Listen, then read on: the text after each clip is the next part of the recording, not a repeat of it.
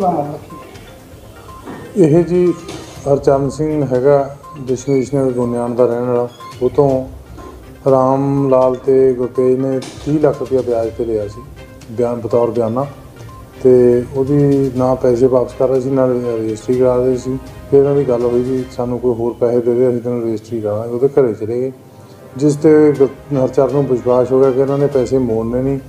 ਤੇ ਗੁਰਤੇਜ ਕੋ ਵੈਪਨ ਸੀਗਾ ਉਹਨਾਂ ਨੇ ਖੋਹ ਕੇ ਵੈਪਨ ਨਾਲੇ ਫਾਇਰਿੰਗ ਕਰਤੀ ਤੇ ਥਾਣੇ ਰਿਪੋਰਟ ਕਰਤੀ ਤੇ ਪਿੱਛੇ 4/11 ਨੂੰ ਇਹਨਾਂ ਦਾ ਸਮਝੌਤਾ ਹੋ ਗਿਆ ਉੱਥੇ ਪੈਸੇ ਮੋੜ ਦਾਂਗੇ।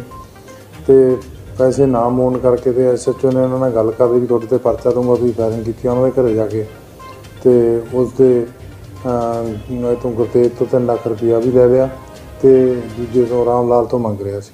ਇਹ ਕਿੰਨੇ ਰੁਪਏ ਮਾਮਲੇ ਬਰਾਮਦ ਤੇ ਕਿੰਨੇ ਰੁਪਏ ਤੇ ਉਹਦੇ ਵਿੱਚ ਮੰਗ ਰਿਹਾ ਸੀ ਤੇ ਉਹ ਤੋਂ ਜਿਹੜਾ ਹੈਗਾ 50000 ਰੁਪਏ ਕੱਲ ਸਵੇਰੇ ਲਏ ਜਿਹਦੀ ਤੇ 50000 ਕੱਲ ਸ਼ਾਮੀ ਲੈਣੇ ਸੀ ਤੇ ਫਿਰ ਉਹਦੇ 'ਚ ਇਹ ਰੈਡ ਹੈਂਡਡ ਟਰੈਪ ਹੋਏ ਨੇ। ਐਸਆਈ ਪਰਮਜੀਤ ਤੇ ਐਸਐਚਓ ਬਲਖੌਰ ਸਿੰਘ। ਤੇ ਜਿਹਦੇ ਤੇ ਅਸੀਂ ਮੁਕੱਦਮਾ ਨੰਬਰ 18 ਰਜਿਸਟਰ ਕਰਕੇ ਅਗਲੀ ਤਫਤੀਸ਼ ਜਾਰੀ ਸਰ ਇਹ ਪਹਿਲਾਂ ਵੀ ਕੋਈ ਪਤਾ ਦਿੱਤਾ ਨਹੀਂ ਇਹਦੇ ਤੇ ਕੋਈ ਪਹਿਲਾਂ ਕੋਈ ਦਰਜ ਨਹੀਂ ਹੋਇਆ ਬਾਕੀ ਇਨਵੈਸਟੀਗੇਸ਼ਨ ਦਾ ਪਾਰਟ ਆ ਇਨਵੈਸਟੀਗੇਸ਼ਨ ਦੇ ਕੇ ਅਸੀਂ ਜੋ ਵੀ ਇਹ ਬਣਦੀ ਹੈ ਕਾਰਵਾਈ। ਧੰਨਵਾਦ।